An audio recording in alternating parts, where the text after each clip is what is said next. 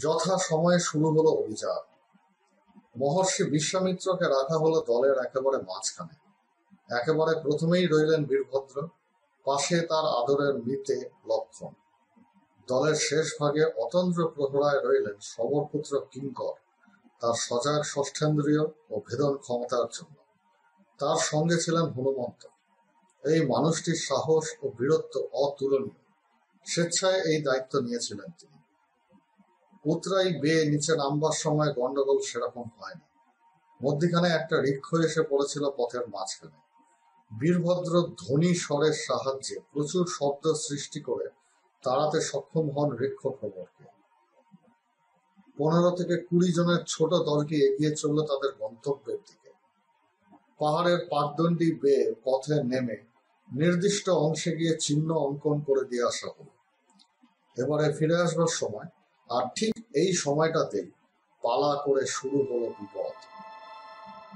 চড়াইয়ের মুখটাতেই হঠাৎ কোথা থেকে পথ আটকে এসে দাঁড়াল একটা ছোড়া দেত বাঘ ভয়ে শিক্ষার্থীদের তো বটেই, মহর্ষির মুখ পর্যন্ত শুকিয়ে গেল। সকলেই বুঝতে পারল, একেবারে সাক্ষাৎ মৃত্যুর সামনে এসে দাঁড়িয়েছে। একটু নড়াচড়া করলেই বিপদ। ব্যাঘ্রটি নিশ্চিত ছাপ মারবে, আর তাতে অন্তত তিনজনের মৃত্যু অবশ্যম্ভাবী। প্রচণ্ড রাগে মাটিতে লেজ আছড়াতে আছড়াতে বাঘটি যখন গুড়ি মেরে বসে লাফ মারবার জন্য প্রস্তুত, এমন সময় কোথা থেকে কি হলো বোঝা গেল না। সকলেরই মনোযোগ ছিল বাঘটির গতিবিধির দিকে। হঠাৎই এক তীব্র বিস্ফোরণ ঘটল বাঘটি যেখানে দাঁড়িয়েছিল সেখানে। বিস্ফোরণ, আলো, ধোয়া ধোয়া সরতেই দেখা গেল অকস্থলে খণ্ডিত বাঘের দেহ। চকিতে একবার ওপরের দিকে তাকিয়ে বীরভদ্র বুঝতে পারলেন ব্যাপারটা কি। চেঁচিয়ে সবাইকে সাবধান করে নির্দেশ দিলেন ছড়িয়ে যাওয়ার জন্য। তারপরই পরপর দুটি তরঙ্গ নিক্ষেপ করলেন মাঝারি আয়তনের ওই উড়ন যানটির উদ্দেশ্যে। সেটি অবশ্য তখন সরে যাওয়ার তাল করছিল কিন্তু অব্যর্থ নিশানা ভেদে ভারতের মধ্যে নিষ্ক্রিয় করে ফেলা গেল। যদিও এই ক্ষণিক স্বস্তি বেশিক্ষণ কাজ করল না। পরক্ষণেই সেখানে চলে এলো আরও চারটি ছোট আকৃতির উড়ন যান মহর্ষি একটা কথা পই পই করে বলে দিয়েছিলেন, ব্যস্ত রাখো, ব্যস্ত রাখবে বোমযানগুলো একটু ফাঁকা বা অবসর পেলে এরা তোমার নিকটবর্তী হওয়ার চেষ্টা করবে। নিজেদের আওতার মধ্যে তোমাকে আনবার চেষ্টা করবে। কিন্তু পরপর প্রহার করে গেলে এরা কিন্তু নির্দিষ্ট সীমার উপরে উচ্চতাতেই অবস্থান করবে। নিচে নামবার চেষ্টাও করবে। সেই কাজটি করছিলেন বীরভদ্র। একের পর এক তরঙ্গ তীর নিক্ষেপ করে উড়ান যানগুলির উদ্দেশ্যে। পাখিরাও একযোগে বান ক্ষেপণ করে যাচ্ছিল এদের লক্ষ্য করে। চারটি আলাদা ক্রমে ভূমির থেকে একটা নির্দিষ্ট উচ্চতায় উঠছিল এরা।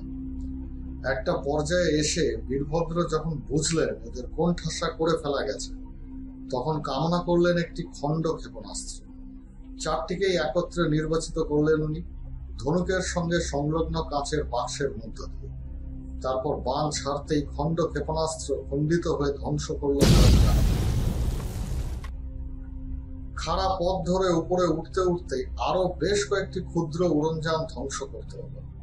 এগুলির সংখ্যাধিক্য এত বেশি যে অনেক সময় ধনুক ব্যবহারের সময়ও পাওয়া যাচ্ছে না। চক্রই তখন একমাত্র ভরসা।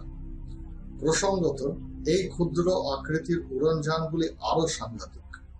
হাতের মুঠোর মতো আকৃতি বিশিষ্ট এই উড়নযানগুলিতে কোনো বিস্ফোরক নেই। আছে শুধু দূর দমনীয় গতি। তীব্র গতি নিয়ে এরা ধেয়ে আসে শত্রুর মস্তক আঘাত করে সেখানে। ফলশ্রুতি সংজ্ঞাহীন বা নিষ্প্রাণ চলো চলো, দাঁড়িয়ে পড়লে হবে না। মহর্ষি বিশ্বামিত্রের কথায় চটকা ভাঙল বীরভদ্রের। এক জায়গায় দাঁড়িয়ে পড়া মানে এই যানগুলির সহজ লক্ষ্যমাত্রায় নিজেকে পর্যবসিত করা। মহর্ষি বিশ্বামিত্রের কাছ থেকে এরা জেনেছিলেন যে এই উড়ন যানগুলি প্রকৃতপক্ষে অন্ধ। চালকবিহীন এই যানগুলি প্রকৃতপক্ষে বস্তুকে দর্শন করে, তার দেহের তাপমাত্রার নিরিখে। ফলে এক জায়গায় পুঞ্জীভূত তাপমাত্রার আধিক্য মানে অনেকগুলি শত্রুর উপস্থিতি। কিন্তু সেনাদল যদি ছড়িয়ে থাকে তাহলে ব্যক্তি ধরে ধরে শনাক্ত করা খুবই দুরূহ ব্যাপার। আর শত্রু চলমান হলে সেটা তাদের পক্ষে আরও কঠিন।